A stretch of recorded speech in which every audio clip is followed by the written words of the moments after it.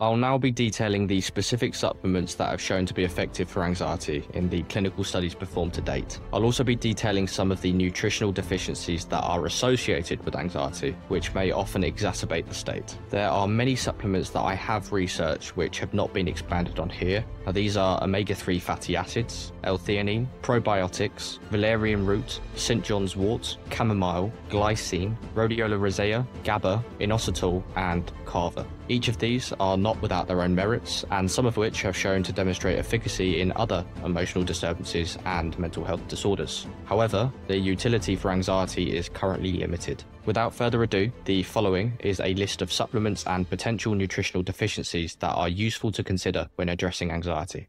First, magnesium. This trace element, being a cofactor to over 300 enzymes in our body, is not surprisingly implicated in a wide array of disorders anxiety being one of them.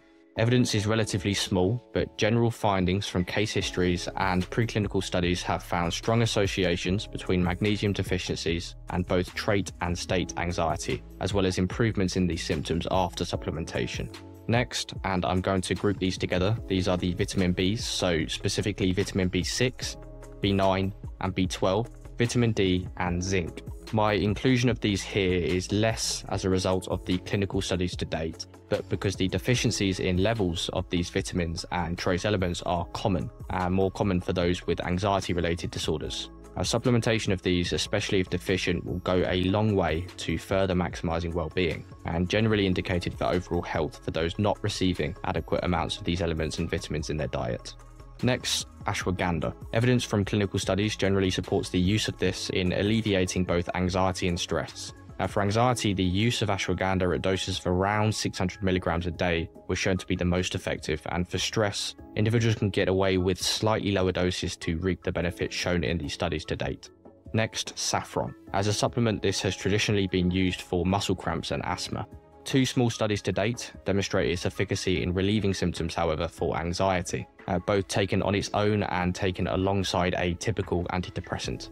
Next, passion flower. The benefits demonstrated by passion flower supplementation in studies to date, well, it's very encouraging. However, the evidence regarding guideline dosing and feasibility of long term use still remains inconclusive.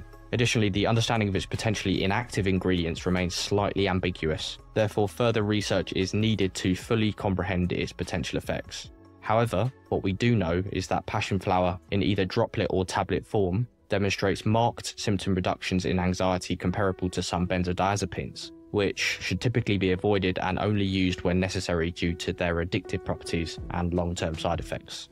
The doses used in studies typically ranged from 400 to 800 milligrams daily, with larger doses divided into two or three smaller doses, rather than being taken all at once. More information is needed to recommend this with certainty, but the results so far have been very encouraging.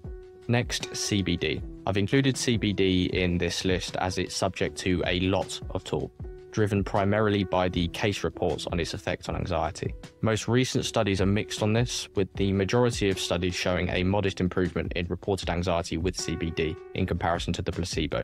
I understand that CBD is the subject of extensive ongoing research, so I'm confident that our understanding of it will soon become much clearer. Next, lavender. So, studies to date investigating the effects of lavender on anxiety have been promising. However, much of the information on lavender is dubious due to its potential biases. Since the scent of lavender is easily recognizable, it's difficult to create a reliable placebo to compare it to. Regardless, inhalation of lavender during aromatherapy sessions has consistently demonstrated a reduction in symptoms of anxiety. Not only this, but a controlled study investigating the benefits of lavender oil via capsules containing both 80 milligrams and 160 milligrams daily were both superior to placebo in reducing states of anxiety, stress, and installing a sense of calmness. Given the fact that there is a minimal side effect profile and the nature of the fact that there are no withdrawals, this seems to be a viable option despite the need for more well regulated research to further ascertain guidelines for its use. Next, L-lysine and L-arginine. To date, these supplements have only been studied in controlled trials when used in combination both of which, however, have shown to reduce both state and trait anxiety levels and demonstrated a reduction in salivary cortisol after a course of taking these supplements when compared to the placebo group.